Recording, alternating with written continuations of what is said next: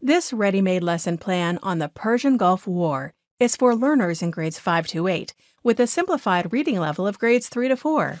From 1990 to 1991, our resource highlights the events that occurred shortly after Iraq's invasion of Kuwait. Aligned to the state standards, this resource is 60 pages of content within eight chapters full of vocabulary, comprehension, and hands on activities. We also include an assessment rubric, a critical thinking skills rubric, and a vocabulary list. Every chapter has a before you read section to see what learners already know about the topic, ideal for differentiated learning. Conduct a research report on the process of extracting oil to establish the motivations behind the invasion of Kuwait.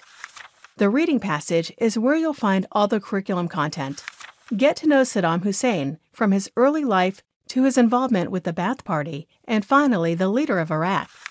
The After You Read sections include short and long questions for comprehension, followed by an extension activity. Read about the invasion of Kuwait and how other countries and the UN reacted to this.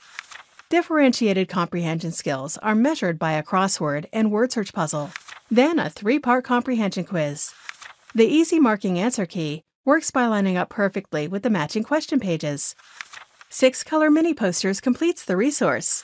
Learn about Operation Desert Storm and how the U.S. sent troops to the Gulf to help protect other nations from Hussein. The Persian Gulf War is just one resource of a pair on world conflict Visit our website to see the Iraq War.